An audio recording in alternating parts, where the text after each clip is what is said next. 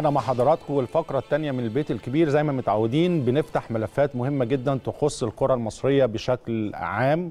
وطبعا من أهم الأزمات اللي بتقابلنا في الفترة اللي فاتت والملفات طبعا ملف التحكيم. ملف التحكيم وأزمات التحكيم المستمرة في الدوري المصري. آه، طبعا بيشرفنا النهاردة حكم دولي كبير هنستفيد بيه ونعرف منه بالظبط أزمات التحكيم رايحه فين. وهنتكلم على الفار ونتكلم على حالات كتيرة جدا جدا. كابتن ناصر عباس كابتن كبير برحب بحضرتك منورنا في البيت الكبير. تحياتي ليك كابتن هاني وشكرا. على كلامك الجميل وتحياتي لكل سادة مشاهدي قناة النادي الأهلي. ونتمنى إن شاء الله النهارده من خلال الحلقة نوصل معلومة ثقافية لجمهورنا ولاعيبتنا ومدربينا. من خلال إن شاء الله الإعداد اللي عامل حاجة جميلة النهارده إن شاء الله أعتقد إن الحلقة هتبقى مفيدة. إن شاء الله. وبرضو آه، عندنا تقرير دلوقتي هنروح بس التقرير عن استمرار أزمات التحكيم في الدوري المصري نشوف التقرير ونرجع مع حكمنا الدولي.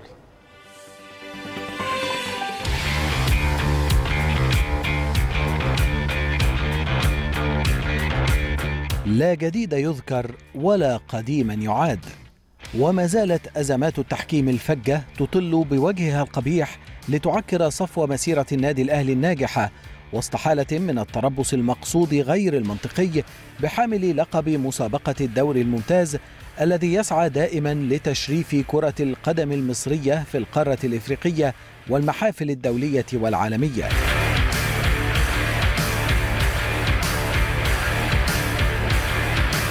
شهد الموسم الحالي بمسابقة الدوري الممتاز أزمات عديدة. كان بطلها الأول بلا منازع لجنة الحكام التابعة لاتحاد الكرة واختياراتها. فبعد أن استبشر الجميع خيرا باستخدام الحكم الألماني فليكس بريش لإدارة السوبر المحلي الذي أقيم ببرج العرب وهو أحد أبرز الحكام على المستوى العالمي فوجئ الوسط الكروي أجمع بما يحدث مع فريق الكرة الأول بالنادي الأهلي من تعنت تحكيمي واضح واختيارات غير موفقة للحكام الذين تولوا إدارة مباريات القلعة الحمراء بعد ذلك. وحتى بعد إدخال تقنية الفار لم يختلف الأمر كثيرا بل ازداد سوءا على سوء. فليس من المنطقي أن يدير الحكم إبراهيم نور الدين أربع مباريات للأهلي في هذا الموسم من مسابقة الدوري الممتاز وهو نفسه الحكم الذي اشتهر دائما باستفزاز اللاعبين والمدربين في القلعة الحمراء بالحركات التمثيلية المعروف بها والتي لا يليق تنفيذها إلا على خشبة مسرح مدرسي وليس مكانها ملعب كرة القدم.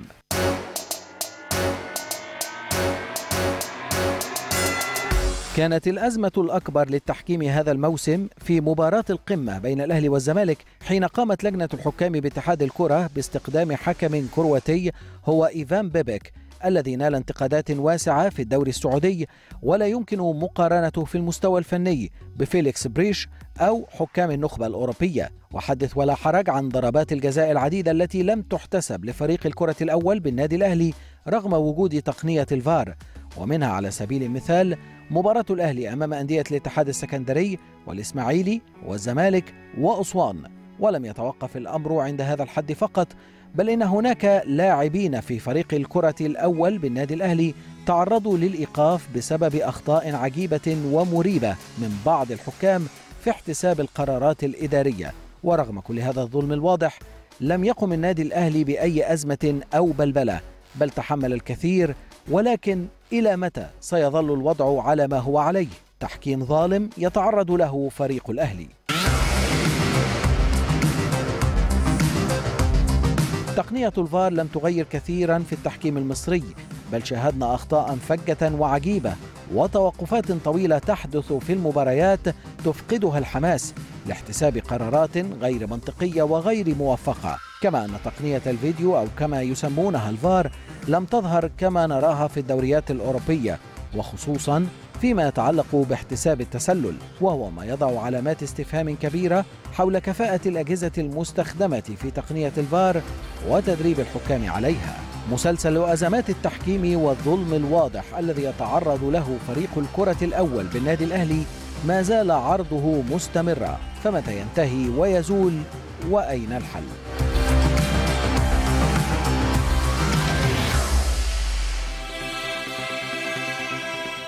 نرجع مع حضراتكم. كابتن ناصر آه، طبعا حضرتك محاضر دولي على مستوى عالي جدا. خلينا نتكلم كده آم، بخطوط عريضة أو خط العريض الأولاني آه، ليه ازمات التحكيم مستمرة في الدوري المصري بهذا النمط يعني.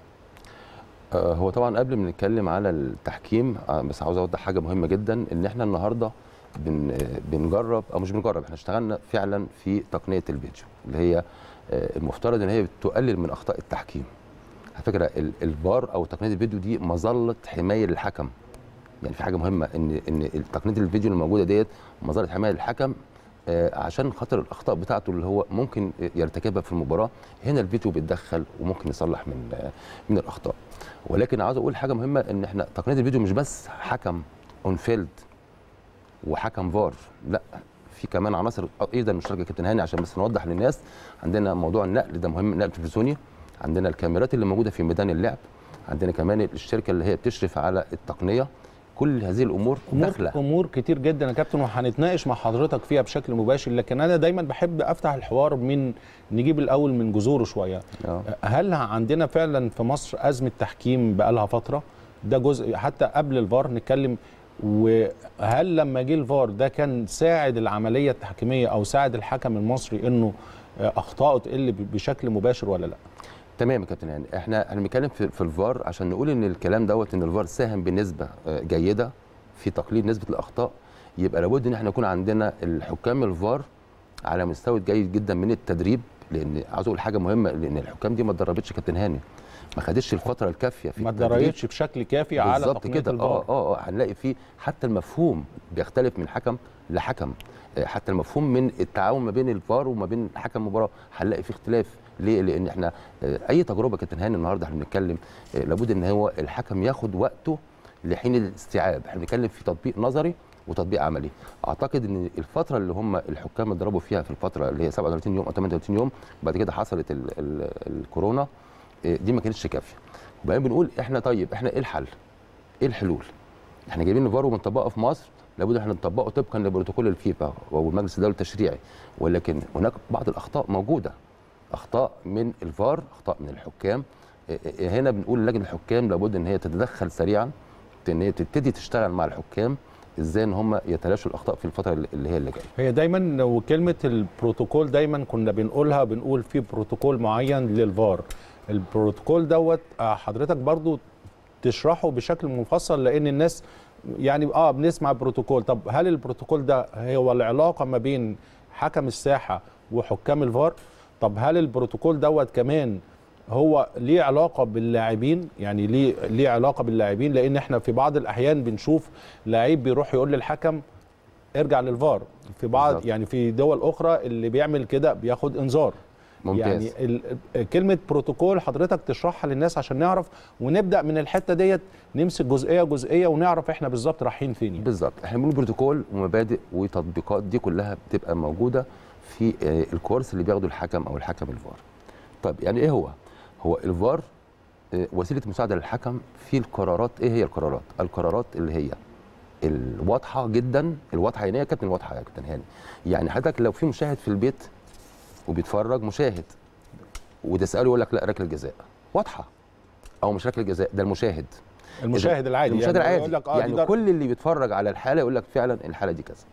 ده بالنسبة للحالات الواضحة. آه، الظاهرة الفائتة أو الغائبة عن الحكم. زي إيه؟ على سبيل المثال قلنا لو في هدف جه هذا الهدف بيعمل عليه check. check آه يعني إيه؟ البروتوكول قدامنا آه بس برضه عشان الناس آه آه، اتفضل يا كابتن كمل بس بنتكلم على. البروتوكول طبعا موجود أهوت نقول إيه إيه الأخطاء اللي الفار بيتدخل فيها؟ ده مهم نعرف. مهم جدا. قلنا آه، ركلة جزاء أو مش ركله جزاء. يعني إيه ركلة جزاء ومش ركله جزاء؟ الحكم حسب ركلة جزاء من بره. هنا البر- الفيديو بيتدخل. يقول له المخالفة كانت من جوه. آه دي يعني لو دي اسمها مكان يعني مكان حقيقي. آه، okay. حتى مش مش شرط إن الحكم يروح. يعني هو بيكلمه في ال communication system بيقول له إيه؟ لا المخالفة حدثت من جوه. أو العكس حكم حسب من جوه.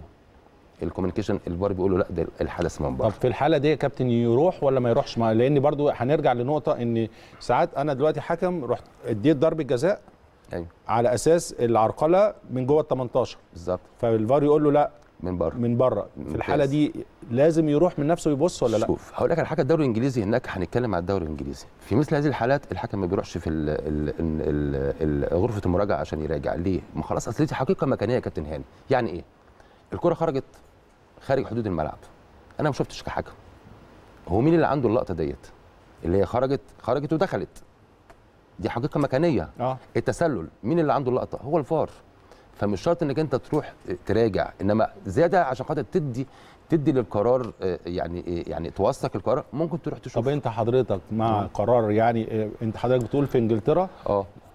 تقريبا اللي بياخد قرار ضربة الجزاء هو الفار. آه، بنتكلم على الخطوط على خطوط أو. التسلل. أو يعني إيه؟ التسلل. زي ما إحنا قلنا أنا بقول لك إن دي من بره خلاص أنا عندي شفت أنا كفار إن دي من بره مش محتاج تيجي تقول لي في مصر. ممكن يروح يبص آه، أنت بقى يبص، آه. حضرتك رأيك الفني مم. نطبق الكلام بتاع إنجلترا يجي أنا لك عندي حالة هنا مهمة جدا هنجيبها كابتن هاني ونشرح آه. عليها آه، آه، آه، الفار عمل إيه والحكم الحكم عمل عمل إيه إيه؟ تمام. دي, دي من ضمن الحاجات تمام هرجع تاني كابتن هاني بنقول إيه إن ركلة جزاء أو شكل جزاء وقلنا إن ممكن تكون ركلة جزاء من بره أو, أو من من جوه يعني آه، ركلة جزاء آه، آه، في تنفيذها كمان مهم جدا إن ممكن يكون الحارس تقدم آه، وحصل منها يعني دي, دي دي حاجات كتيرة جدا مم. إنما إحنا بنقول باختصار. طيب بعد كده في إيه؟ عندنا هدف أو مش هدف. كابتن هاني أنت حضرتك في حالة بناء الهجمة وأنت كنت لاعب كبير رحت وأثناء البناء والهجوم حصلت مخالفة منك أنت أو من زميلك. وبعد كده أنت يعني سجلت هدف أو الفريق النادي الأهلي مثلا أو نادي الزمالك جاب جاب هدف. بس كان في يسبقه مخالفة. هدف أو ليس هدف هل هل في مخالفة قبل الهدف ولا ما فيش؟ هنا الفار بيرجع الحكم. آه، يقول إن الهدف مش سليم. طب حتى لو المخالفة دي حصلت أنت بتدرج الكورة كده آه. لو أنت حتى بتبني من ورا في آه. مخالفة حصلت في نص ملعبي أنا آه، اللي أنا آه. جبت الجول آه. وبدأت الكره تتحرك تتحرك قعدت لمدة مثلا 40 45 ثانية وجه هدف. ممتاز ممتاز يا كابتن هاني. يعني سؤالك جميل جدا جدا. إحنا بنقول بنقول في حالة بناء يعني في حالة بناء إن الفرقة بتحضر بتحضر. وتبتدي تنتقل مثلا من تلت الدفاع الوسط- الأوسط وبعدين تروح تجيب جول. لا طالما ال ال ال ال الهجمة دي من بدايتها لنهايتها حصل منها هدف وفي قبل الهدف كان في مخالفة. عندنا حالة وهقول لك حالة جميلة جدا جدا وليه الفار ما اتدخلش؟ ليه الفار ما اتدخلش؟ يعني آه، الفار ما اتدخلش طالما إن ال ال ال ال ال الخطأ اللي جه ده ما جاش أثناء الهجمة. ممكن يكون جه قبل الهجمة يعني قبل البناء. آه. آه. الهدف اللي جه آه، في تقريبا في مباراة النادي الأهلي برضك كانت الأهلي والجونه كان في واقعة إن أحمد فتحي قالوا إن هو ارتكب مخالفة مع اللاعب اللي هو المهاجم. بالظبط. وبعدين راحت راحت رجعت للشناوي. لا ما رجعت للشناوي دي بقت لعبة جديدة خالص. آه بدا الفار ما قدرش يتدخل. آه بدأت لعبة جديدة فما- الشناوي بقى راح عمل باص مرة لقطة اتنين جون. هدف صحيح مليون في المية. الفار ما اتدخلش. دي من خلال الحالة هنشوفها. هنشوف. إنما هنتكلم في ركلة جزاء أو مش ركلة جزاء. بنتكلم في هدف أو ليس هدف. بنتكلم في البطاقة الحمراء مباشره وليس الإنذار الثاني عشان بس الناس تبقى عارفة عندنا برضه حالة في الدوري المصري حصلت آه. جدل كبير جدا جدا. طب أنت بتدي إنذار تاني؟ طب آه. أنت مش من حقك تدي إنذار تاني لأن راح للفار؟ بالظبط. وكان إنذار تاني. أعتقد كان أحمد فتحي أعتقد أو لاعب. النادي بنقول الأهلي. لما الفار بيجي بيجيب كابتن هاني أنت حضرتك حكم الميدان وأنا كفار. هستدعيك في البطاقة الحمراء فقط لا غير. هستدعيك وليس الإنذار ال-. الثاني. الإنذار. الثاني ما أقدرش أستدعيك فيه. يعني إيه؟ يعني أنا بقول لك كابتن هاني من فضلك احتمالية في بطاقة حمراء للاعب. آه يعني أنت ما لاعب اديتهاش. ارتكب خطأ يستوجب يستوجب الحمراء. بطاقه حمراء ده تدخلي. طيب يستوجب بطاقه حمراء نتيجه لعب عنيف لعب سلوك آه، يعني آه، استخدام قوة زايدة في حالة من الحالات آه، ايذاء لاعب. أنا شفت أنت ما شفتش. فبقول لك احتمال بطاقه حمراء ده تدخل مني كفار وليس الإنذار الثاني. ما أقدرش أقول لك اللاعب دوت إديله إنذار. دي من ده من ضمن بروتوكول الفار. ده البطاقة الحمراء مباشر طب سؤال. دلوقتي في آه، لاعب أخطأ؟ وخد انذار. عادي يبقى لاعب عنده انذار. تمام. ونفس اللاعب دوت الفار قال إنه عمل آه، فعل يستحق الإنذار التاني؟ يستحق يستحق الطرد. ممتاز حلو ممتاز. يبقى كده راح الحكم. آه. ما أقدرش أدي إنذار في كارت أحمر. يرجع بقى يرجع يديله يطلع الكارت الأصفر والأحمر ولا يطلع لا لا, لا الأحمر؟ الأحمر مباشر. على طول ما مباشر أنا قلت لحضرتك إن أنا أنا كفار ما بقولكش إلا على الحمراء حمراء فقط. ما أقدرش أقول لك اللاعب ده كان عنده انذار ويستحق انذار تاني وتدي له انذار في انذار في احمر. ده مش شغلي طب لو. طلعوا له الاصفر والاحمر؟ ما هو هنا هنا هنا. مخالف مخالف للبروتوكول. مخالف آه للبروتوكول طالما أنا أنا كفار جبت حضرتك قلت لك دي بطاقة حمراء انت بتيجي تشوف. آه انت ليك ال- ال- الحكم ليه القرار الأول والأخير يا كابتن هاني؟ حكم الميدان هو ليه القرار الأول والأخير مم. حتى بعد مساعدة الفار هو الوحيد اللي بياخد القرار. ولكن إحنا بنتكلم إمتى أنا أجيب الحكم؟ وهي دي المشكلة يا كابتن هاني عارف إيه المشكلة إيه؟ إن إحنا لحد دلوقتي عندنا مشكلة إمتى أجيب الحكم وإمتى ما أجيبوش. يعني أحيانا الفار بيجيب الحكم في حالات لا تستدعي ان انت تجيب الحكم فيها. في طبقا مصر. البروتوكول. آه. وحصلت كتير. مع احترامي طبعا حكامنا كلهم زمايلنا ولجنه الحكام كلهم ناس أصدقائنا وناس حبايبنا. ولكن أنا الحكم الفار البروتوكول قال لك الحالات اللي أنت بتجيب فيها الحكم محددة. حاجة تانية ما تجيبش حكم وأنت ما عندكش لقطة. يعني أنا النهارده أنا الفار. كابتن هاني في لعبه حضرتك انت خليت اللعب يتواصل ما خدش فيها قرار. احتمالية ركله جزاء أو مشاكل جزاء لعبة صعبة ولعبة تقديرية. أنا كفار عشان أجيب حضرتك واستدعيك لابد يكون عندي اللقطه واضحة جدا جدا جدا تقول إن في ركله جزاء عشان حضرتك لما تيجي أجيبها لك. هو ممكن تاخد يستدعي. الحكم وما عندوش اللقطة؟ ما هي دي المشكلة كده يعني ممكن أنا أستدعي كفار أقول له في ضربة جزاء وأنا ما عنديش اللقطة هقول له إيه؟ ما هو ده المفهوم اللي إحنا على إيه بنتكلم- يعني. ده المفهوم يا كابتن هاني إحنا بيقول يا حكام الفار البروتوكول واضح من فضلك. أحيانا ما عندكش لقطة نتيجة إن الكاميرات في الملعب مش مساعداك. أو اللقطة الوحيدة اللي عندك أو اللقطتين ما بيجيبوش الحدث بالتفصيل اللي الحكم يقدر ياخد منه قرار. طب أنت بتجيبني ليه؟ وهنا قال لك ما تجيبش الحكم. طالما ما عندكش اللقطة الواضحة جدا للحكم من فضلك ما تجيبوش. تدخل الفار النهارده زي ما قلت في تدخلات غير مقبوله بالمرة. ما عندكش لقطه ما تجيبش الحكم. ما فيش خطا واضح قوي. يعني كابتن هاني أحيانا إحنا بنقول ان في فروق فرديه بين الحكام. صحيح. أنا بقدر حاله من الحالات ال- مظبوط. ال- ممكن أقول آه، تقدير حاله تقديريه برضك ما تدخلش فيها. التدخل في الحالات الواضحه وأنا اديت مثال لو في ساده مشاهدين قاعدين كلهم يقولوا لا كلهم يقولوا في ركله جزاء كلهم يقولوا إيه؟ ودول مشاهدين عاديين يقولوا في ركله جزاء إنما ما تجيبنيش في حالة تقديرية ما تجيبنيش في حالة ما عندكش زاوية. دي اللي هي عاملة المشاكل لحد دلوقتي وزي ما قلت إن لجنة الحكام أيضا كمان معذورة في فترة التدريب إن الحكام ما خدتش الفترة أنا حضرتك ب... يعني عشان برضو تبقى الأمور واضحة كده قدام الناس حضرتك بتتكلم إن ال... ال... ال- التدريب ما كانش كافي للحكام اطلاقا. لأن من من ثلاث لست شهور تدريب. فندم هقول لحضرتك حاجة. عشان الناس المغرب تفهم حد المغرب. حكامنا برضو عندهم المغرب مشاكل في طبقت ال- الفار. من ستة لتسع شهور. تدريب. تدريب. من ستة لتسع شهور. طبقت بعد تسع شهور. آه طبقت بعد تسع شهور. آه إحنا النهارده 38 يوم تقريبا. وكان في استعجال يعني أنا أنا آه اتحاد اللجنة الخماسية واتحاد الكورة كان مشكور جدا جدا لأن هم صرفوا فعلا على الفار مبالغ كبيره وكانوا هم دايما عاوزين يعني يطبقوا. التقنية من الدور الثاني ودي عملت عملية ضغط على الحك على الحكام وعلى لجنة الحكام اللي كانت موجودة مشكورة نفذت البرنامج. بس الوقت التدريب ما كانش كافي. إن أنا يعني أهضم القصة قصة مش مش, سهلة يا كابتن هاني. قصة صعبة جدا آه، جدا. أكيد أكيد. أنت بتتكلم في 50 60 حكم المفهوم مفهوم ال concept عند كل واحد. هل كل واحد زي التاني؟ بتتكلم في الخبرات. هل كل واحد زي التاني؟ بتتكلم في الفروق الفردية في موهبه حكم في صحيح حكم موهوب في حكم مش موهوب. فأنت النهارده بتعامل 50 حكم كأنهم كلهم عندهم كل ال- ال option اللي إحنا بنتكلم فيه. لا طبعا. بيختلف الفروق, من الفروق الفردية ما بين كنت الحكام لعيب على مستوى وكنت لاعب بسم. الله ما شاء الله لاعب جامد ولاعب كبير وكنا أنا عن نفسي كنت بستمتع بحضرتك. مش مش مجاملة ولا حاجة ولكن مش كل واحد بيلعب في الحتة اللي انت كنت- حضرتك بتلعب فيها. أكيد واحد مستواه عالي قوي وواحد مستواه متوسط وهكذا. فنراعي الفروق الفردية في المفهوم بالنسبة لحكام كبار ليهم خبرات حكام متوسطين. آه، آخر حاجة بنقولها برضك عشان خاطر نحسم فيها اللي هي الهوية المفقودة يا كابتن هاني. أحيانا آه، في الزحمة وحاول إنك أنت حكم وفي والضغط المباراه وفي حكم وفي بطاقة بتيجي تديها بل بتديهاني أنا اللي ارتكبت المخالفه بتديها للاعب تاني. مم. هنا الفار يصحح لك يقول لك لا البطاقة اللي حاول إن أنت اديتها حدثت في الدوري الإنجليزي آه، فعلا في راح كتير. في كتير. كتير. نتيجة اللعيبة بقى والزحمة والتشابك ما بين اللاعبين اللي هو ال- ال- اللي بيحصل والحكم أحيانا ما بياخدش باله. هنا الفار دوره إن هو يقول لك لا البطاقة مش لرقم خمسة البطاقة لرقم مثلا سبعة أو ثمانيه دول الأربع حاجات اللي إحنا بنتكلم فيهم يعني بشكل عام. تفاصيلهم طبعا يعني موجودة عند ال- الحكام وإحنا كلنا عارفينها ولكن إحنا بنتكلم أربع الحالات اللي واضحين جدا اللي الفار بيتدخل فيهم. البروتوكول حضرتك برضو مهم جدا إن يتشرح كمان للعيبة يعني لازم يكون لجنة الحكام بتبعت بعض الخبراء في التحكيم وده بيحصل كتير وأنا كنت بلعب في ألمانيا حصل كتير لما بيكون في آه، قانون جديد أو تغيير في قوانين كرة القدم بيتبعت من لجنة الحكام بتبعت للأندية. والله آه، عايزين نقعد نعمل محاضرة فيديو ومن خلال الفيديو بتقول لك لا دلوقتي آه، في تعديلات كذا كذا. حضرتك شايف إن من واجب آه، يعني لجنة الحكام إن تقوم بالدور ده لكل نادي على أساس كمان اللعيب يعرف الأدوار ديت؟ اللي إحنا بنشوف اللعيبة دلوقتي أي حاجة بتحصل يروح للحكم ويعمل له كده. أي حاجة تحصل يروح.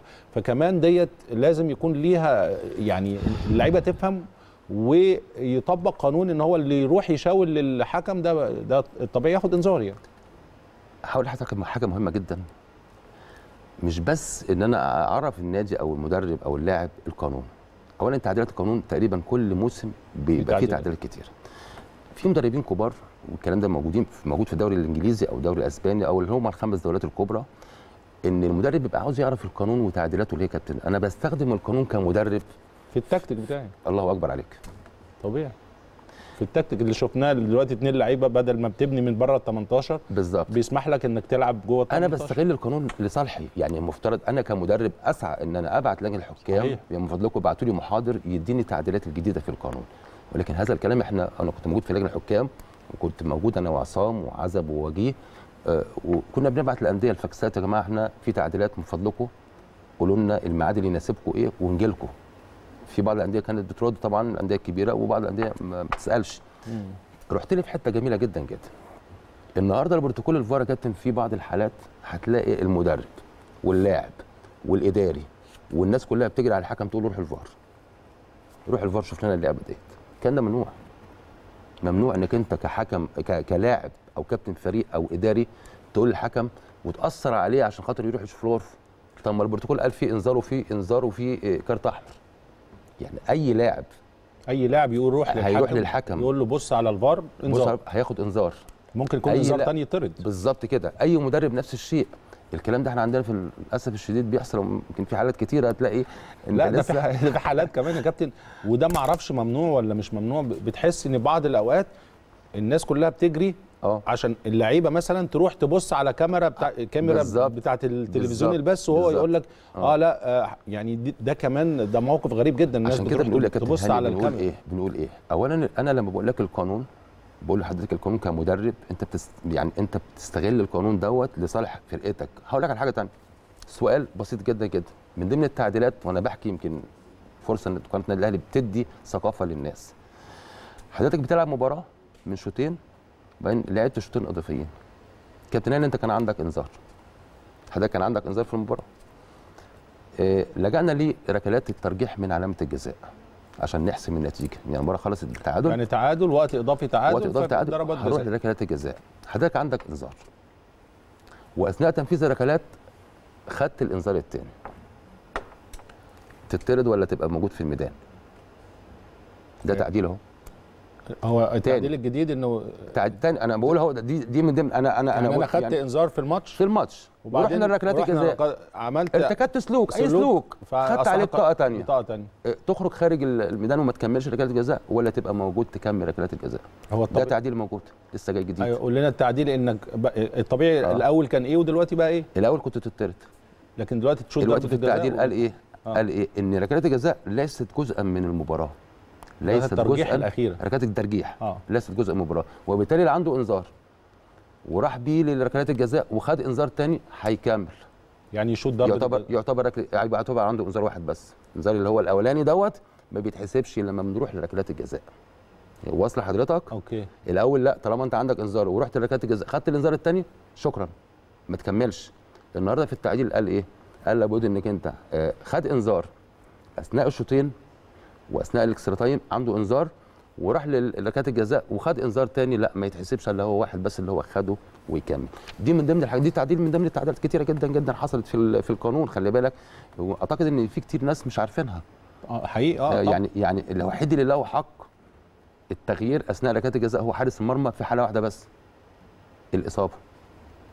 الوحيد اللي له حق إن هو ممكن يغير أثناء تنفيذ الركلات هو حارس المرمى. أنا مش عاوز أقلب الحلقة تعديلات لا وكده مهم جدا كمان إن آه لا, لا يعني إحنا بنتكلم في المجمل إن في تعديلات التعديلات ديت في ناس كتيرة مش عارفاها. في ناس ما تعرفش والمدربين لازم يعرفوا علشان ده بالنسبة له ممكن يغير تكتيك على على حسب التعديل الموجود. بالظبط كده. فكمان خلينا نرجع للفار ومشاكله. تفتكر موضوع الفار دوت سبب يعني سبب ضغوط على الحكام أكتر؟ وبدأ الحكم بيبقى فيه نوع من أنواع التوتر. آه، في ادائه بيأثر عليه حتى يعني حتى في الملعب بيأثر على ادائه من غير يعني حتى من غير الرجوع للفار. بتحس الحكم بقى فيه جزء من ال- من التوتر شوية؟ بالظبط. هو المشكلة برضك زي ما قلت لحضرتك إيه؟ هو لو حكم لو يعرف إن الفار ده هو مظله حماية ليه هو للحكم. يعني هو إيه, إيه, إيه الهدف من الفار إيه يا كابتن أهمي؟ إن يبقى في عدالة تحكيمية خلال الماتش. وطول ما في عدالة تحكيمية أنت كحكم انت بتبقى سعيد ان. ما حدش اتظلم فبالتالي سواء الفار ادالك أو قال لك أو نصحك وانت خدت القرار إحنا في الآخر خالص إحنا كفريق واحد بنوصل للقرار الصحيح اللي هو بيحقق العدالة التحكيمية زي ما حضرتك قلت في بعض الحكام يعني بعض الحكام هو بقى يعني لما بيقول الفار بيقول له تعالى هو بتبص تلاقيه آه يعني أنا أنا غلطت ولا إيه اللي حصل لي؟ يعني ولا إيه اللي- اللي- إيه الموضوع؟ إيه الموضوع عملت إيه؟ هو أنا عملت إيه؟ وبعدين بيبقى رايح بقى إيه؟ قلقان يعني هو قال أنا قراري كان صح ولا الفار هيصحح لي؟ إيه المشكلة؟ مش عيب.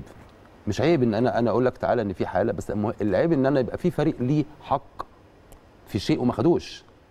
لأن أنت وظيفتك. كحكم وكفار نحقق العدالة للفريقين ومفيش حد يطلع بقرار خاطئ من التحكيم. ده صح. المفهوم اللي إحنا عاوزين نوصله. للحكام. طيب آه، برضو مع حضرتك نتكلم إن شاء الله ما إحنا معانا حالات وهنجيب حالات وكابتن طبعا يشرحها لنا بشكل مباشر. عندنا حالات كتيرة للنادي الأهلي يمكن مش.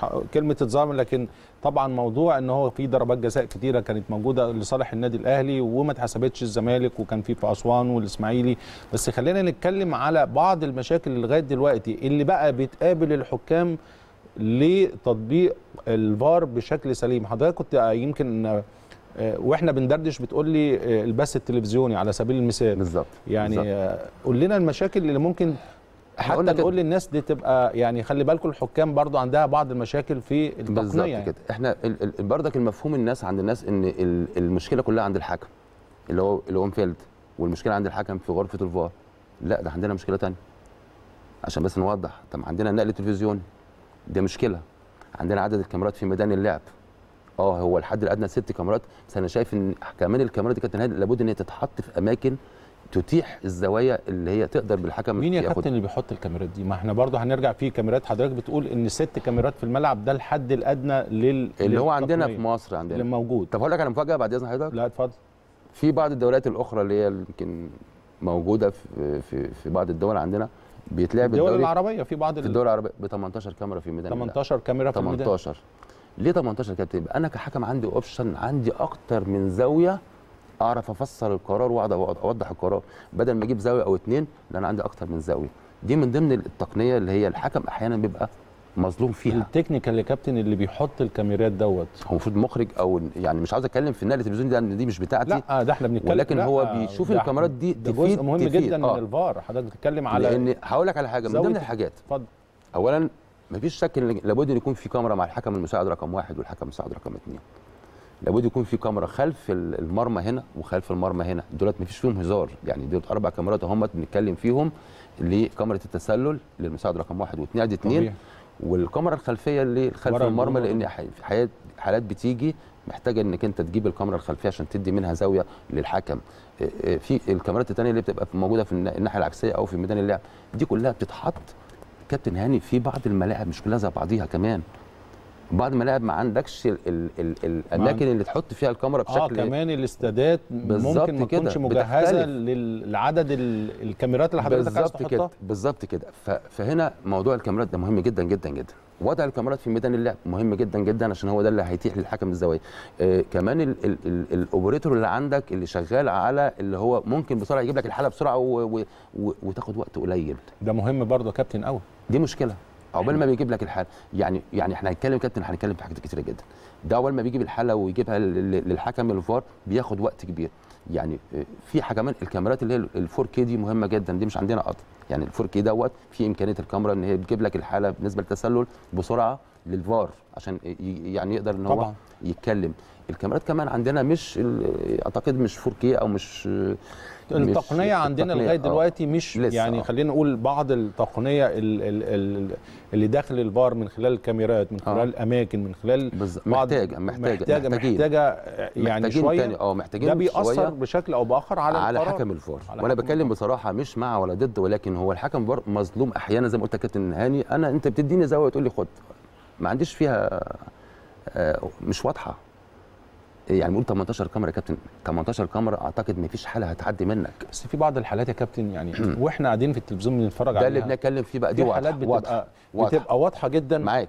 وإحنا أصلا يعني على على جهاز التلفزيون قدامنا ويبقى في عرقلة من جوه مثلا ما ماتش الأهلي. والزمالك آه. عرقلة واضحة جدا جد. من وليد سليمان ومحمود علاء يعني مش محتاجة انك تقول بره ولا جوه لكن. الحكم قال لك لا م- يعني دي حالات عندنا كتيرة يعني حصلت كتيرة. واضحة جدا زي ما قلت لحضرتك والمشاهد العادي قال اللي هو المشاهد قال لا دي ركله جزاء وكلنا أجمعنا وبنتفاجئ بإن قرار الحكم بيجي عكس النقطة اللي عاوز أقولها مهمة جدا كابتن هاني برضك قبل ما نروح للحالات بنقول للحكم انسى إن في فار يا كابتن. انسى آه، دي اللي دي فيه دي الحالة دي الحالة اللي آه، يمكن اللي في فار ما تطرقناش إنها بره ولا جوه لكن آه، ده الحكم آه، إيفان بيبك الحكم الكرواتي آه بالظبط. هقول لك مشكلته إيه. قول لي ده راجل- مشكلته ده مش مشاكله آه، قوي ده راجل في 2010 تم ترشيحه كأس عالم في 2010 جنوب أفريقيا. كان عنده تقريبا 26 سنة.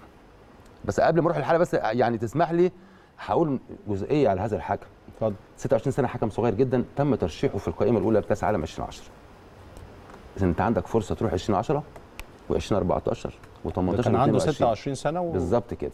أنت متخيل الحكم ده مش في النخبة إيه؟ هذا الحكم مش في النخبة الأوروبية إيه؟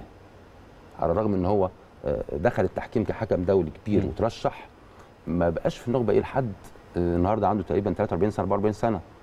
طب قول لي بالله عليك لما يبقى عندك حكم إيفان بيبك 26 سنة و... و... وكان عندك فرصة تروح أربعة كأس عالم وأنت ما رحتش. أنا بتكلم على المستوى.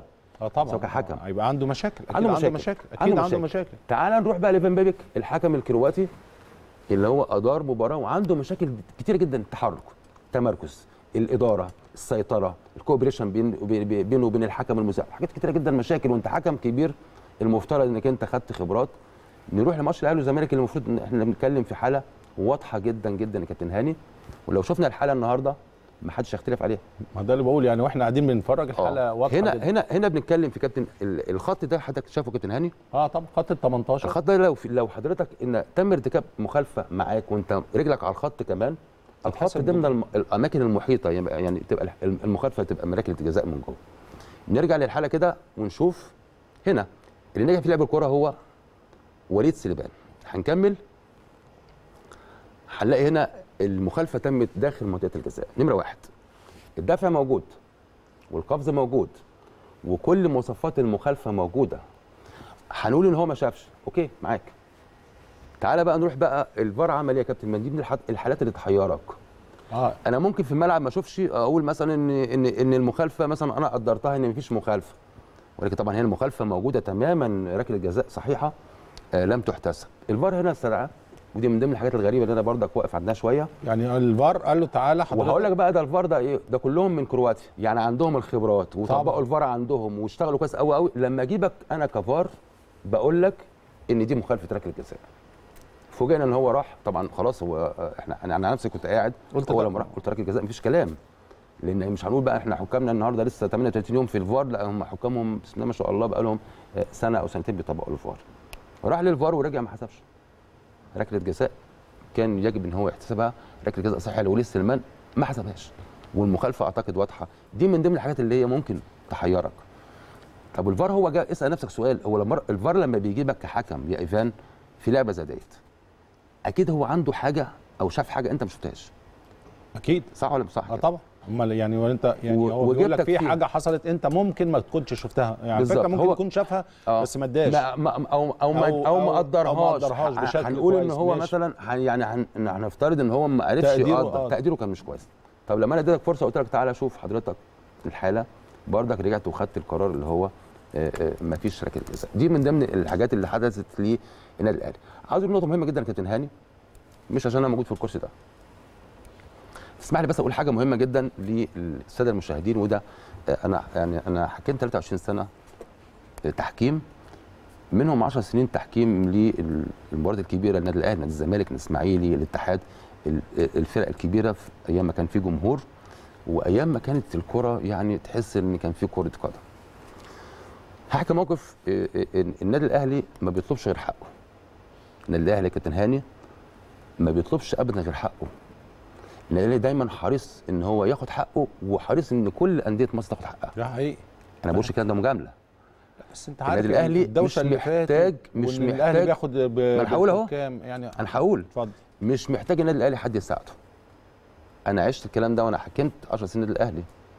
مفيش لاعب في الملعب قال لي مرة أنا ليا كذا أو كده مفيش مدير فني جه قال لي بعد المباراة حسن هحكي لك حاجة مهمة جدا في 2004 أنا بدير لقاء النادي الأهلي وغزل المحلة. في غزل المحلة في دور ال 16 كأس مصر. كأس مصر دور ال 16 كان الأهلي متص- متص- متصدر الدوري العام وتيم مش عاوز أقول لك تيم الأهلي تيم كبير جدا وكان رحمة الله عليه ربنا يرحمه كابتن ثابت البطل كان مدير الكرة. وهذه المباراة الشوط الأولاني والثاني انتهوا آه، سلبي 0 0 رحنا للشوط الثالث والرابع النادي الأهلي عماد متعب جاب تقريبا في دقيقه 96 جاب هدف. في دقيقه 96 الشوط الثالث آه، جاب الشوط هدف. الثالث يعني الشوط. الأول الإضافي آه. الشوط الأول اضافي النادي المحله تعادل في دقيقة 113 1 1 هقول لك أنا طلعت بطاقة حمراء للاعب النادي الأهلي في هذه المباراة. في الشوط الرابع؟ الشوط الرابع. يعني يعتبر آه، الشوط آه الشوط الرابع. أنا الرابع. أشهرت البطاقة الحمراء للاعب النادي الأهلي.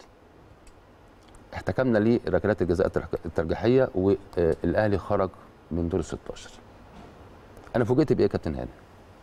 والله بحكي لك بأمانة وأنا في غرفة خلع الملابس مش فوجئت هو هو كان رحمة الله عليه آه،. يعني شخصية محترمة جدا. كابتن ثابت دخل شكرنا واحد واحد وإحنا كنا طاقم تحكيم كنا أربعة. شاكرين يا رجاله إحنا خدنا حقنا اديتوا مباراة كويسة جدا جدا ومتشكرين وخد بعضهم. مشي والنادي الأهلي خرج خرج من دور ال 16 في بضربات مصر. بضربات الجزاء. بضربات جزاء وهو النادي الأهلي كان إيه؟ كان تيم إيه بقى؟ يعني مش عايز أقول لك وكان متصدر الدوري ومع ذلك النادي الأهلي خد حقه. وبالتالي ما حدش جه دخل قال لنا أنتوا إزاي عملتوا وما عملناش وفي لاعب مطرود من النادي الاهلي على فكرة. وكان في لاعب مطرود مش عاوز أقول كان في لاعب مطرود من النادي الاهلي. اذا النادي الاهلي بنقول إيه؟ ما بياخدش أو ما بيطلبش أكتر من من حقه وده حق مشروع ليه. وأي نادي لما بيقول يا جماعة أنا عاوز حقي هو حق مشروع ليه يا كابتن هاني؟ آه طبيعي حق مشروع وكل حاجة والنادي الأهلي دايما زي ما إحنا بنقول. لكن أنت عارف بقى السوشيال ميديا في الفترات الأخيرة والأهلي بياخد الدوري بال- بالحكام أعتقد. يعني مفيش إحنا لو ده. حسبنا كمية ال- العدد النقاط اللي خسرها النادي الأهلي مش هقول بسبب ظلم تحكيم لكن أخطاء تحكيمية ممكن نكون آه، يعني يعني نكون خدنا الدوري من من ثلاث أربع أسابيع يعني بص يا لكن كابتن هاني إحنا دايما ما بنرجعش عندنا أخطاء. آه عندنا إنما ما عندناش حكم مغرض. خلينا نتكلم معاك يعني طبعاً. حكامنا كلها الله ما شاء الله حكام آه، آه، جيدة جدا. قلت لك فترة الفار دي كانت فترة يعني عدت بكل ما فيها ولكن هناك أخطاء هناك أخطاء هناك آه، عدم انسجام ما بين الفار والحكام هناك موجود. آه، آه، آه، بنقول الفترة اللي جاية لابد إن يكون في تدريب تدريب تدريب تدريب الناس أنا مش هينفع إن أنا النهارده يبقى عندي أخطاء أخطاء والأخطاء دي ما تتصلحش. لابد إن يكون في مسؤول الفار إن هو يعمل ال- الكورسات للحكام ويراجع الحالات اللي موجودة لأن زي ما قلت إحنا عندنا أكتر من حالة النهارده. ما أعرفش لو في حاجة آه ممكن في حالات تانية هن... آه، يعني في. حالات معانا لأن طبعا نستغل وجود حضرتك آه، عشان كمان تشرح لنا والناس تفهم. يعني ده ده مباراة أسوان على سبيل المثال. يعني مباراة أسوان آه، يعني واضح واضح جدا إن حارس المرمى ما لمس الكورة خالص ولمس آه، رجلين آه، بادجي يعني عارف كابتن هاني الحالة دي أنا بشكرك إنك أنت جبتها ده بشكر جيراردو، آه، فريق- جيراردو. فريق الإعداد آه. هقول لك ليه حالة من الحالات الواضحة جدا جدا اللي الحكم خد بيها قرار صحيح حسب أنا بقول لك ال- ال- الحاجات الغريبة يعني اللي, اللي هي ال- ال- الفار عملها ويمكن ديت كانت في دقيقه اتنين هنا هنشوف هنا جيراردو. جيرالدو آه، نجح دي- في لعب دي الكوره. نجح في لعب الكورة تمام خالص وهنا يعني الحارس آه. هنا لم ينجح في إن هو يلعب الكورة وبالتالي إيه اللي حصل يا كابتن هنا هنلاحظ إن هنا آه، آه، الإيد الإيد لمست واضحة جدا ولكن إن الحكم لم يتردد في احتسابها في الدقيقة 2 يا الحكم يركب المباراة بعديها خلاص. حدث كبير طبعا عارف الحكم اتفاجئ بإيه؟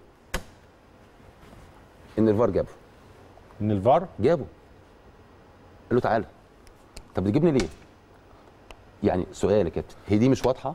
إحنا قلنا بتجيبني في ركلة الجزاء لما تكون هي مش صحيحة. ده من ضمن اللي إحنا كنا بنتكلم فيه من شوية. مظبوط. شوف انت متخيل لما تكون انت حكم كبير وبتحسب ركلة جزاء وبتبقى انت واثق منها وواضحة جدا جدا. الفار هنا جابه ليه؟ ده السؤال اللي أنا بسأله.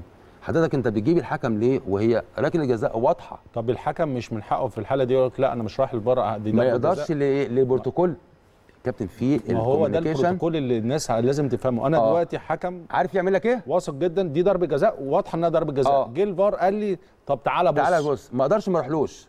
عارف يجي لي إنذار من ال IFAB المجلس الدولي التشريعي لأن الحاجات دي كلها بتروح له. لو أنا كحكم ما رحتش هقول لك على حاجة. في كأس عالم تم- 2018 فيليكس بريتش أو فيليكس بريتش الحكم الألماني هو أفضل حكم في ألمانيا. في دور 16 كان هناك عند حالة فار ركله جزاء تقريبا كان ماتش آه، أستراليا أو حاجة وسويسرا أو إيرلندا وسويسرا. والفار جابه استدعاه هو ما راحش. وصمم على قراره وما راحش. مشوه. يا. في البطولة آه مع السلامة شكرا. الدور الثاني قال له شكرا مع آه السلامة. يعني لازم الحكم الحكم لازم لو الفار قال له تعالى لازم يروح. لابد إنك أنت تروح. أنا بسأل سؤال بس. هو أنت جبته ليه أصلا؟ انت حضرتك أنت النهارده هنقول أنت هتجيبه لما هو ياخد القرار الخاطئ. يعني هنجيبه لما اللعبة دي يبقى الحارس لعب. ومفيش ركله جزاء وهو حسب. تاني يا كابتن هاني هجيبه إمتى؟ لو أنا شايف إن الحارس هنا نجح في لعب الكره وما ارتكبش مخالفة. مظبوط. والحكم حسب ركله جزاء إنما اللي إحنا شايفين شفناه كله إن هنا الحارس ارتكب مخالفة وإن الحكم احتسب ركله جزاء صحيحة 100% أصل ال- ال- الفكرة اللي حضرتك بتقولها دي الأمور مشيت عكسي الطبيعي يعني لو الحركة سريعة جدا ممكن الحكم ما يلاحظش ح... أنت حضرتك؟ حكم كده آه, آه. صعبة جدا؟ الحكم يعرف آه، إذا آه. كان لمس رجله ولا لأ بالظبط فالطبيعي إن هو ما يحسبش ضربة جزاء والفار يجيبه يقول له يقول لأ. في ضربة جزاء. بالظبط كده بالظبط كده. حصل يعني العكس العكس دي من ضمن الحاجات اللي إحنا بنقف عندها شوية وده مشكلة في البروتوكول يا سيدي إحنا بنقول لك تجيب الحكم لما الحكم يخطأ يعني لو الحكم أخطأ في إن هو مثلا ما ما حسبش, حسبش دي دي تعالى. ابعت له قول له تعالى احسبها. إنما أنا أقول دي يمكن كان نقطة تحول الحكم مباراه وحكم طبعا صديقي وحكم كبير جدا محمود عاشور. في الدقيقة 2 لما تجيبني أنت وتعمل لي هزة في اللعبة ديت تبقى عندي مشكلة. دي مش بس الحالة دي كانت في حالات تانية آه، كتيرة جدا جدا. يمكن عندنا من خلال الحالات إحنا بنشرح بردك وبنوضح ليه بيطلع نقط من آه، خلال آه، الحالات آه. ديت الناس مش فاهماها. يعني طب الحكم يروح ولا ما يروحش؟ آه. طب لو راح أو. لو ما راحش الحكم راح. راح وجه حسب. بس هو يعني هو بردك الحكم بيكلم نفسه كابتن هنا بيقول إيه؟ طب أنت جايبني ليه يعني؟ آه ودي طبعا يمكن المباراة اللي فاتت وأثارت كتير من الدجل. طبعا ضربة الجزاء اللي اتحسبت على أحمد فتحي. ناس كتير قالوا إن مستوى رجل أحمد فتحي في المستوى الطبيعي اللي ممكن يلعب ومستوى راس آه، طبعا آه، لاعب الاتحاد آه، دي دي دي دي حاله كان واطي شوية. بالظبط كده. كابتن هاني دي رزق. من ضمن الحالات إن ممكن أسألك سؤال؟ مش إحنا اختلفنا فيها؟ محمود رزق. في ناس قالت إيه؟ قالت اللاعب هنا موطي موطي بزيادة ف آه، المخالفة تبقى على اللاعب. على اللاعب. والبعض قال لا لا لا خالص إن اللاعب كان في مستوى ال- اللعب وبالتالي نجح في لعب الكرة وبالتالي المخالفة على أحمد فتحي في اختلاف ولا ما فيش في اختلاف طبعا. صح؟ آه. ده خطأ واضح؟ واضح ظاهر؟ يعني تقدر تقول إن هنا في مخالفة فعلا على حد من دولت؟ أنا ممكن أقول لا اللعبة بتمشي. أنا على مستواي ممكن برافو أنا ممكن أبص أس- أنا أبص ممكن اسقف لك أنا أقول لك ليه؟ طب لأن دي من ضمن هسقف لك أهو. هقول لك ليه؟ لأن دي من ضمن الحالات اللي الفار جاب الحكم فيها. أنت يعني ده خطأ بروتوكول. آه لا انت أنت يا كابتن إحنا قلنا إيه؟ أنت بتجيبني في الخطأ الواضح. أي حكم في في المباراة دي لعبة جدلية. صح. صح ولا مش صح؟ مظبوط. جدلية. مظبوط. البعض قال وأنا وأنا وأنا بقول أهو البعض المحللين قالوا لا إن إن هنا الخطأ على أحمد فتحي لأن هو لم ينجح في لعب الكره وإن اللاعب هو نجح في لعب الكره وبالتالي المخالفة على أحمد والإنذار صحيح. والبعض الآخر قال لا ده اللاعب هو نزل على مستوى قدم اللاعب الحقيقة وعرض نفسه أنا للخطوره كنت لعيب كورة وعارف وأنا آه. كنت مدافع وعارف. آه. وحضرتك حكم دولي ومحاضر دولي وعارف إن من واضح من الصورة إنه اللاعب فعلا نزل لمستوى أنا بتكلم في نقطة مهمة. أحمد بيلعب عادي يا بتكلم أحمد مش رافع رجله مثلا لمستوى. دماغه لا ده الدماغ اللي نازل لمستوى الرجل ما هو في فرق إن أنا رجليا طالعة لمستوى الدماغ ولا آه. الدماغ نازل لمستوى يعني دي, الرجل دي دي دي حالة جدلية ولا مش جدلية؟ جدلية. جدلية هنا بنقول للفار أنت الحالات الجدلية ما تخشش فيها إحنا قلنا الخطأ الواضح الظاهر اللي الغائب دي من ضمن الحالات الفار تدخل وجاب الحكم فيها ولكن أنت دي حالة تعتبر من الحالات اللي مش واضحة قوي قوي ما تجيبش الحكم فيها هنروح للحاله اللي جاية بقى اللي هي الحاله المهمة. عندنا حاله في نفس المباراة. طب قبل الحلقة اللي عقبال ما يحضروها في اللقطة ديت برضو خلينا نتكلم على جزئية آه، الحكم وشخصيته في إدارة حتى المباراة واتخاذ القرار. آه، ساعات ساعات بيكون over reacted شوية. يعني مع احترامنا طبعا لجميع الحكام الحكم إبراهيم نور الدين حتى لما حسب ضربة جزاء كان over reacted أنا واخد يعني شايف إن هو شوية من العصبية في احتساب في احتساب ضربة الجزاء. على الرغم ان الموضوع لو حضرتك شايف إن ضربة جزاء ضربة جزاء بشكل أنا شايف إنه ممكن يكون آه، شوية عصبي شوية. ده نتيجة للضغوط. بالظبط. ولا النتيجة كابتن؟ كابتن هاني حضرتك كنت بتلعب ولاعب محترف كبير جدا في منتخب مصر. لو أنت اتعصبت شوية في ميدان اللعب تقدر تركز؟ لا. تركيزي بيقل طبعا مليون في المية. لو أنت شوية اتعصبت أو يعني أو أو أو حصل عندك مشكلة تد- نفس الكلام بنقوله للحكم لابد إنك أنت كحكم احتفظ بهدوءك لأن أنت هتقابل ضغوط من الجماهير ضغوط من الأجهزة الفنية والإدارية جهود من جهود من ال آه. أنا هسأل حضرتك برضو سؤال أنا يعني طرحته. هل من الطبيعي إن يكون النقاش بهذا الحد وإن يعني أنا ممكن أكون فاهم غلط ممكن يكون ده طبيعي إنه بيقول له لأ طب هات لي ديت طب واعمل لي كده يعني هو هو برضك هنا لازم هو يكون هو شوية. إبراهيم رايح برضك في الحالة ديت آه، آه، يعني بص كابتن هو برضك قلت لك بيبقى في شوية من الحكم رايح هو هو أنا عملت ولا إيه؟ إيه وأنا عملت آه، إيه فهو. كمان رايح شوية. عصبية متنشن آه. وكده فبيجي ممكن هقول لك على حاجة هقول لك على حاجة له بقى الكوره كده ممكن يقول لك طب أنتوا جايبين لي ليه مثلا يعني هو كمان ممكن لسان حاله إبراهيم يقول لك طب أنتوا جايبين له ليه حتى بص هو راجع حتى آه، شوف إبراهيم بس حتى أنا هي بص- هنا- هنا رد شاورت، آه. بس ال- تمام أنا بقول لإبراهيم إبراهيم أنت حكم كبير وأنت كده انت انت أنت اللي بتاخد القرار يعني انت حضرتك اللي بتاخد قرار. خد القرار بكل هدوء لأن آه، اللي انت عملته ممكن يأثر عليك في القرارات اللي جاية. صحيح. إيه المانع أنا عملت إشارة الفار؟ بروح مدي ركلة جزاء خلاص بالراحة. باجي اطرد اللاعب يا كابتن ما اروحش للاعب وادي الكارت في وشه. يعني الله رحمه الله عليه كابتن حسام قال لنا إشهار البطاقة الحمراء بالذات خلي بالك ما تقربش جنب اللاعب لأن هو ممكن يعني لا شعوري كده يعمل لك أي حاجة. صحيح. ممكن اللاعب يعمل معاك. فابعد وطلع البطاقة بهدوء ما تستفزش اللاعب. اذا برضك بنقول للحكم انت كحكم مباراه لابد تكون تكون هادي على الرغم إن في ضغوط عليك من ال- السوشيال ميديا ضغوط من الاجهزه الفنيه والإدارية من اللاعبين انت كحكم من فضلك احتفظ بهدوءك لأن ده بيعكس على قرارك.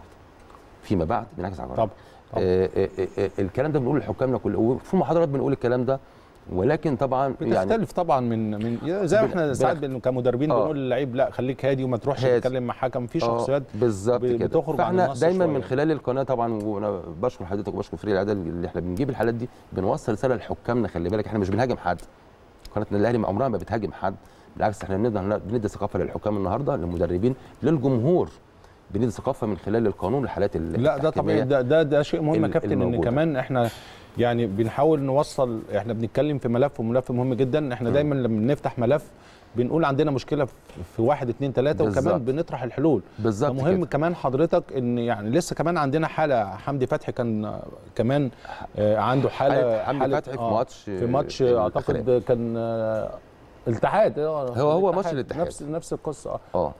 برضه بص هو هو هو هو هو بس هقف شوية كده مخرجنا العظيم بس مخرجنا العظيم. هو ارجع طبعا بس اللقطة اللي فاتت دي هنجيب هنجيب, هنجيب اللقطة من أول خالص آه، مخرجنا العظيم ونشوف الحالة يا كابتن آه، هاني. هو لعب كان فين؟ أيوة. stop. بس اقف هنا؟ stop. تمام. آه، كابتن إبراهيم الدين هو هنا كل تركيزه على الناحية الشمال اللي هي الكرة اللي هي ناحية الشمال. تمام تمام؟ حضرتك شايف إن ال- التمركز في الحتة حاول. ديت هقول لحضرتك اتفضل. هو هنا إبراهيم هنا كل تركيزه طبعا هو هياخد sprint وهيوصل للنقطة اللي هناك ديت فعينه كلها رايحة ناحية الشمال. تمام. okay؟ المخالفة حصلت الناحية دي هنا. stop. هنا. هو طبعا إبراهيم ما بصش هنا خالص. آه وكل هو تركيزه ما على ناحية الكورة. ناحية الكورة. ما زال. هناك قال لك إن اللاعب دخل اهوت ويحصل آه، مشكلة يبقى أنا أنا هناك. مم. فهنا إحنا قلنا الفار بقى هو ده دور الفار. واحدة واحدة بقى كده يعني أتكلم. آه. إبراهيم هنا ما شافش الحدث اللي هنا ده. اللي هو كل. كل تركيزه لسه شد. مع آه ناحية الشمال. آه. آه مع علي ديانج هو آه، هنكمل اللعبة كده. مخرجنا العظيم هنكمل هنكمل اللعبة وهنشوف هو إدى قرار إيه. حصل إن اللعبة طلعت ركله ركنيه إبراهيم إدى ركله ركنيه بس مش هيستأنف الوقت. آه هو بالظبط. إدى مش رك- هيستأنف. آه. ركله ركنية. بالظبط. ال communication الحكم قال له من فضلك في حاجة في حدث حصل. عندي حدث عندك فايت اللي هو إحنا بنقول الاحداث الفايتة. تمام. والحدث اللي هو الفار. تعالى من فضلك شوف في هنا حدث شوف. آه حتى بيقول له ما تغيرش أنا لسه عندي عندي عندي لقطة الفار حد كان طالب التغيير أو حاجة. فهو هنا برضك عامل الضغط على إبراهيم. آه. وطبعا واللعيبة طبعا جريت يا كابتن روح للفار روح للفار. هو أصلا ما شافش اللعبه لأنه زي ما قلت لحضرتك هو كان مركز في الناحية مركز الشمال. ناحية الشمال. طيب آه، دلوقتي هنا هنا. بيعمل إيه بقى كابتن؟ هنا هنا بيتكلم مع الحكم في ال communication. آه بيقول له تعالى نقف كده برجاوي؟ اقف يا برجاوي نق- آه، نقف. ارجع بس شوية. هو لما بيحصل المراجعة يا كابتن هاني هنقف هنا بقى بالظبط هنا. هنا جاله ال- ال- ال- ال- التعليمات من ال- الفيديو تعال. من الفار ان إن في حدث أنت ما شفتوش. فلابد هو بعد ما يتأكد بيعمل إشارة الفار. تمام. وبعدين بيروح يروح آه، في غرفة المراجعة بيشوف الحالة. نروح بقى وهو آه، كابتن إبراهيم راح شاف الحالة نروح كده معاه.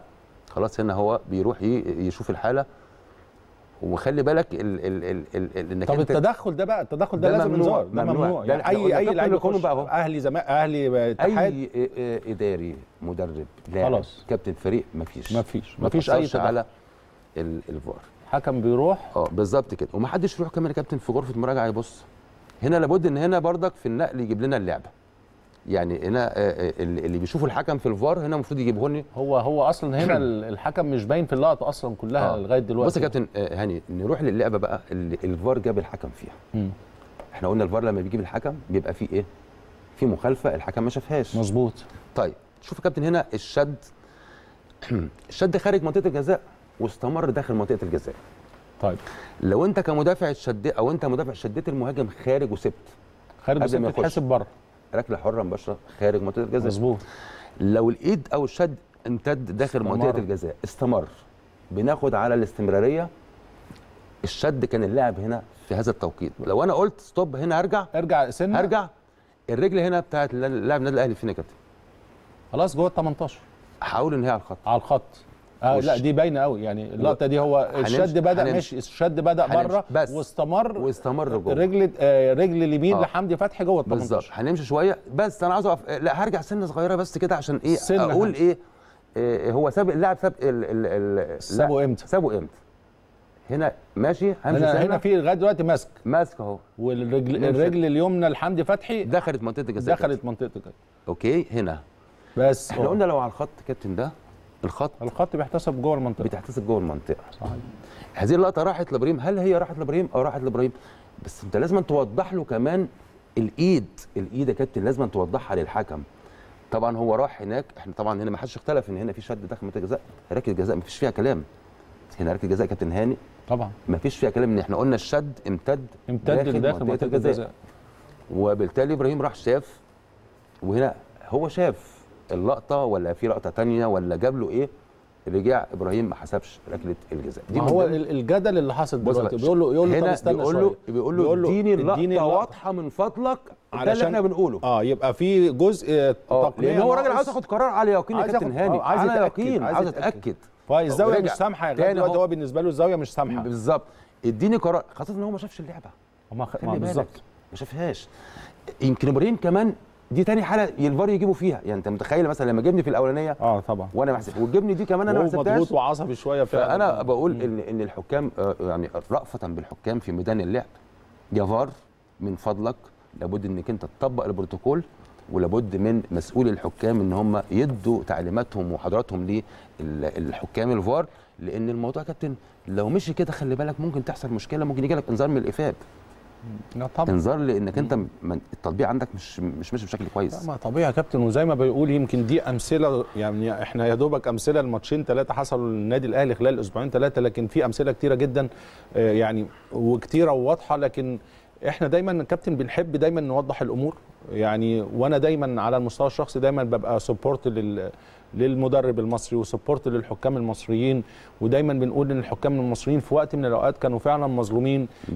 آه، الإمكانيات مش موجودة بشكل كبير الانتقالات آه، الشكل الاحترافي مش موجود. لكن لما دخل الفار كنا كلنا أمل إن الأمور هتبقى أحسن في أفضل. شكلها الأفضل يعني بالظبط. شكلها الأفضل بالظبط. والبروتوكول اللي حضرتك بتتكلم عليه مهم جدا إن كمان الناس تفهم إن في حاجات كتيرة جدا جدا ناقصة وإن لجنة الحكام بتقوم بواجبها لكن عندنا شغل والله يا كابتن هقول مش مجاملة اولا دول كلهم زمايلي أنا اشتغلت معاه وجي أحمد وممكن الناس من عندهم الخبرات ودكتور عزب حجاج يمكن لهم خبرات كبيرة الناس خلي بالك يعني مسكوا بردك الفترة اللي هي الحكام 37 يوم فار والدوري بدأ فهم كمان في نقطة مهمة هقولها أخيرا يا كابتن. إحنا عندنا النهارده اللي معاه رخصة الفار الأون فيلد 18 حكم طبعا. ما حدش يقدر يلعب غيرهم هم. ما حدش أقدر أجيب حد من بره الحكام. عندنا حكام كثيره إنما اللي يحمل رخصة ال on field 18 أيوة، حكم بالظبط. فقط. مم. أنا النهارده بشتغل في دول. مم. لأن ما عنديش كورسات تانية. أدي حكام تانية رخصة ال on field. فأنت بتلعب في 18 حكم 18 حكم فقط لا غير. عندنا الأسبوع تسع مباريات. آه مظبوط. تسعة وتسعة يعني الحكم اللي عنده مشكلة هنا. ومشكلة هنا طب هتعمل إيه؟ فإحنا بنقول إن الفترة اللي جاية لابد إن يتعمل كورس أكتر أكتر من كورس لأدي الرخصة لعدد تاني من الحكام. عشان أعمل rotation يبقى عندي عدد كبير يا كابتن مثلا بدل ما عندي 18 حكم هيبقى عندي 22 قاعدة توسع 25 شوية. 30 حكم. صحيح. فهم بيشتغلوا برضك في أضيق ال- الحدود. طب هو كمان آه، آه، كابتن هخش موضوع مختلف شوية. طبعا الحكام ال crew اللي شغال معاه يعني أنا دايما بتكلم آه، بتحس من مباراة إن في آه، هيرموني ما بين الحكم والحكم الرابع وحكم الراية وتحس إن المجموعة متجانسة. بالظبط. دلوقتي أنا ممكن يكون على سبيل المثال لما في حكم يقول لك طب الحكام المساعدين جوه في الفار مين؟ آه. هو نفسه يقلق. آه. يعني يحس إن هم آه. لأ ده يا نهار أبيض ده مش آه. هيدوني اللي أنا هقول عايزه. لك ه- ف- ه- هقول لك ده موجود دلوقتي. موجود هقول لك على حاجة. أنا عن نفسي لما كنت حكم أحيانا لما يكون معايا مساعد أنا بقلقان منه. قلقان من طبعا. طبعا. لما بقيت أنا بقى حكم كبير يعني يعني أنا رايح مباراة مهمة. يعني أنا أنا يمكن الحمد لله إيه، جميع مباريات النادي الأهلي الاسماعيلي في الإسماعيلية المصري في بورسعيد الزمالك نفس الشيء. يعني كنت بلعب فلما انت عاوز تنجح مباراة لابد انك انت تديني طاقم تحكيم على أعلى مستوى. يعني تديني حكم مساعد تقيل عشان نقدر إن إحنا آه، نشتغل مع بعض. أنا النهارده كابتن أنت بتتكلم في نقطة مهمة جدا جدا يا كابتن. أنا كهاني رمزي اللاعب الكبير اللي هو آه، بيلعب منتخب مصر واحترف في ألمانيا وبعدين في لاعب لسه طالع ناشئ لسه محتاج الخبرات. بتبقى طبعاً. أحيانا محتاج الخبرات أكيد. ونفس الشيء أنا حكم في ميدان اللعب وعندي حكم في الفار صاعد كل حاجة بس ما عندوش الخبرات أنا عن نفسي ببقى قلقان ليه آه، بتفرق كتير جدا مثلا هقول على سبيل المثال. جهاد جريشة مثلا حكم من الحكام الدوليين اللي راح كأس عالم نحط معاه مثلا البنا. وحكم دولي مم. في الفار مم. أكيد هيبقى في آه، آه، تناغم وفي انسجام وفي آه، عدم قلق إنما لما نحط مثلا حكم دولي كبير ونحط حكم مش صغير ولا حاجة ولا حكم خبراته قليلة. دي بتبقى برضك عاملة شوية مشكلة عند ال- الحكم الميداني يا كابتن هاني. ده أكيد. ده ده ياخدني يا كابتن لقصة تانية وسؤال تاني.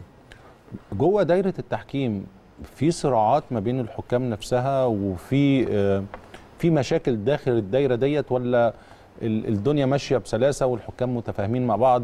يعني برضو دي أعتقد يعني من وجهة نظري أنا هستنى حضرتك تتكلم وبعدين أعلق. لكن السؤال دايرة التحكيم والحكام مع بعض عندهم مشاكل مع بعض جوه بعض؟ بكل أمانة إحنا بنتكلم عشان نصلح يعني. حضرتك بتقصد الحكام ولا. ولا بره بقى ولا لا ولا الناس اللي بره؟ الحكام في مصر هنا ما بينهم وبين بعض دايرة التحكيم نفسها آه. بيبقى فيها مشاكل مع بعض فيها بعض النفسيات آه، الصراعات معينة لرئاسة لجنة أنا عايز أبقى رئيس اللجنة ف آه، وهنخش تعيين الحكام في المباريات ليها حسابات خاصة ما لهاش حسابات خاصة. كل دوت أسئلة أنا بقول لك آه، يعني بنقل الأسئلة اللي الناس بتسألها. آه، في حسابات خاصة ممكن جدا اعين الحكم ده ده علشان ده ياخد مباراة آه، X ده ياخد مباراة Y ده دي لها حسابات الحاجة التانية جوه. جوه ال- الاداره جوه التحكيم نفسه.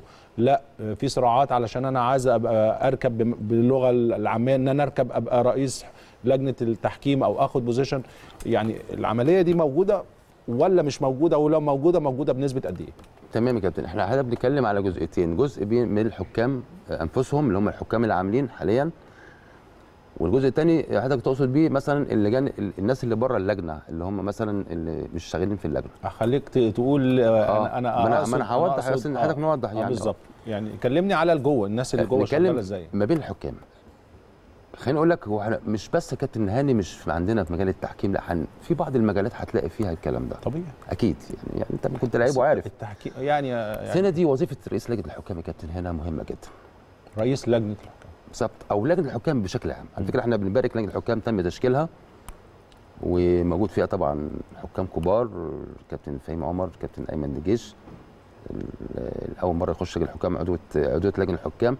آه، عندنا آه، يعني في- محمد فاروق. أعتقد طبعا مع المجموعة الجميلة اللي موجودة كابتن عزب وكابتن وجيه هنقدر نشتغل بشكل بشكل. أفضل. نروح هنا ده دور لجنة الحكام كابتن بتتكلم في مهمة يعني نقطة مهمة جدا. إن الحكام ما بتحبش بعض. طب فين دور لجنة الحكام هنا يا كابتن هاني؟ ما هو أنا ده دوري.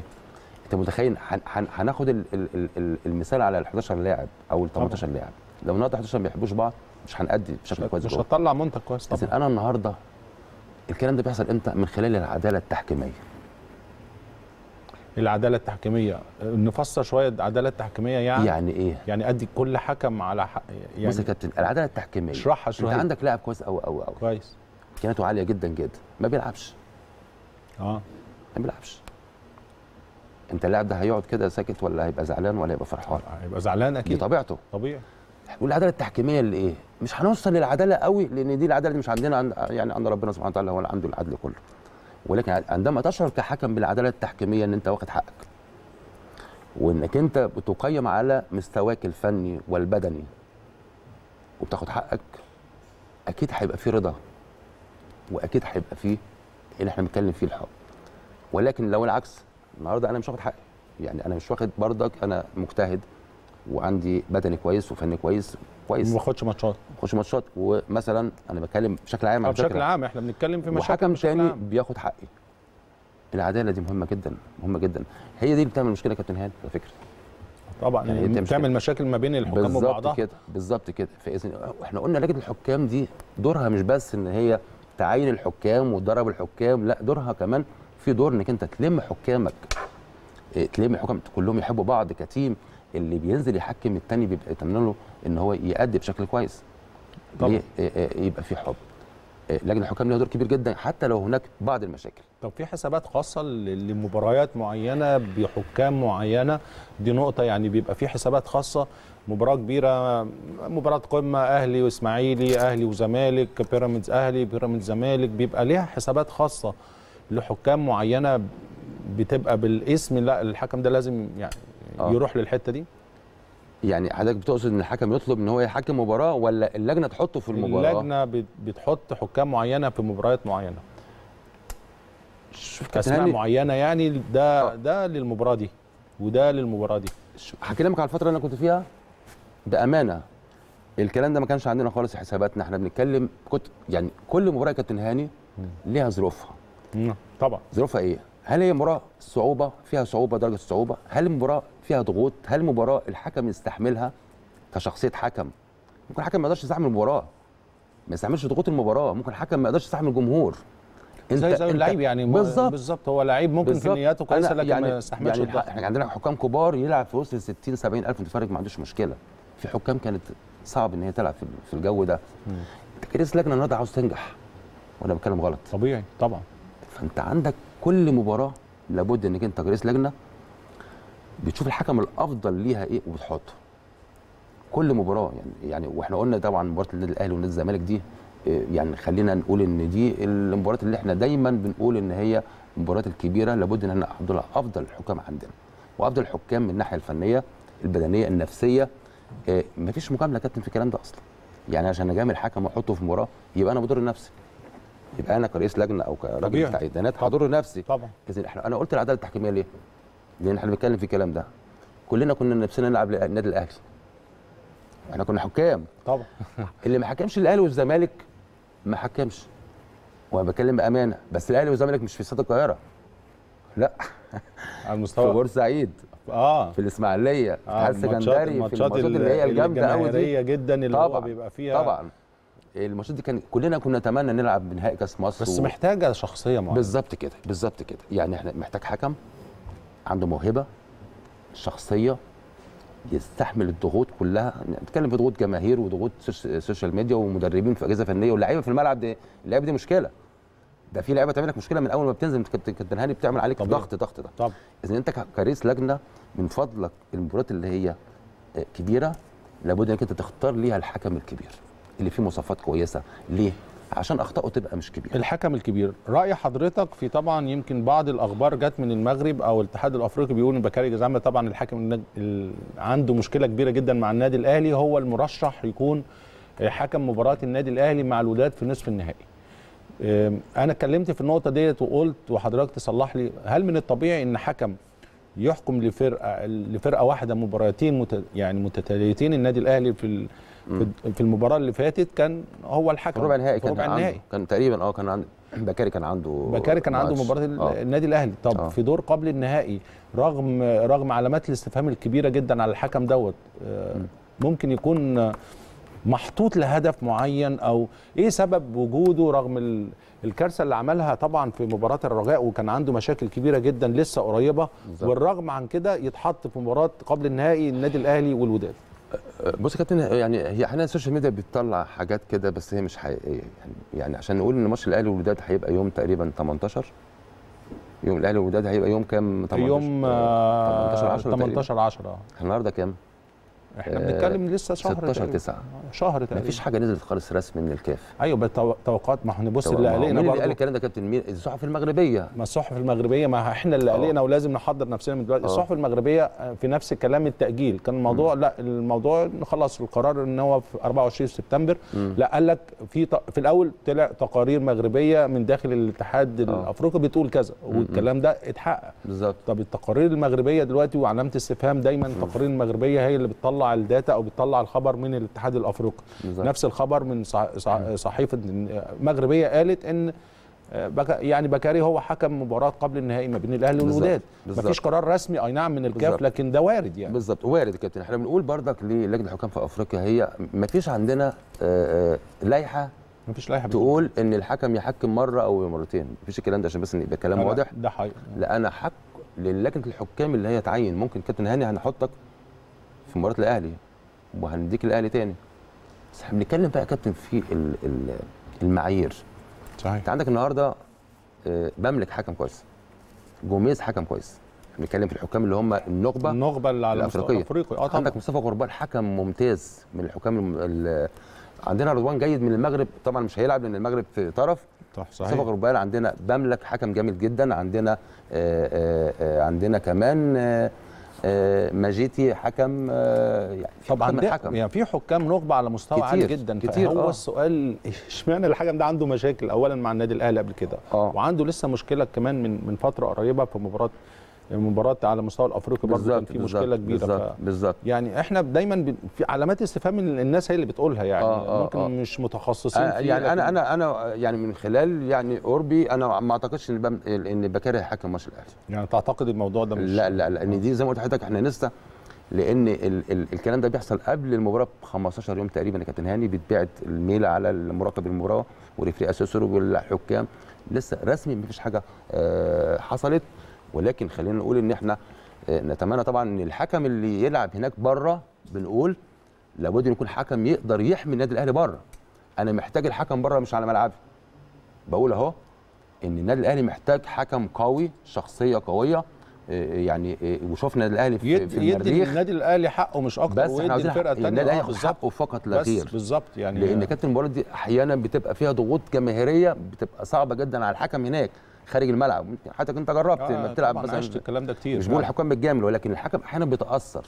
صحيح. بالملعب بالأرض بالجمهور بالفريق. آه، محتاج حكم جامد يقدر يحمي لعيبة النادي الأهلي يعني ويديهم الأمان لأن كابتن هاني في حاجة مهمة جدا. لو اللاعب شعر لحظة إن الحكم مش بيوفر له الأمان والحماية مش هيلعب. مش هيلعب لأن طول ما أنت آه، يعني أنا قلقان منك كحكم مش هاخد حقي.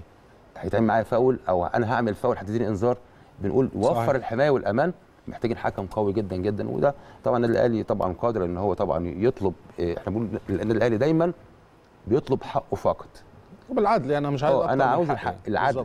والنادي الأهلي دايما وابدا مش عاوز أكتر من من العدل نتمنى إن كابتن شاء الله نورتنا والله يا كابتن الله يخليك بجد كابتن. يعني حلقة كابتن. يعني وإن شاء الله على تواصل لأن الملف لسه مفتوح ملف ال- التحكيم والفار ومشاكله حلقة كانت مميزة جدا استمتعنا وشرفتنا في البيت الكبير كابتن ناصر. كابتن هاني وأنا سعيد بيك جدا طبعا كلاعب كبير ولاعب. منتخب وشرفتنا في المنتخبات واحترفت على أعلى مستوى وأنا بصفه شخصيه كنت معجب بال style وبال ربنا يخليك يا كابتن وبالشغل العالي أنا كنت بلعب centre back زي حضرتك كده وحاجه جميله يعني. ربنا يخليك. كابتن، نورتنا نورتنا يا. كابتن. نورتنا.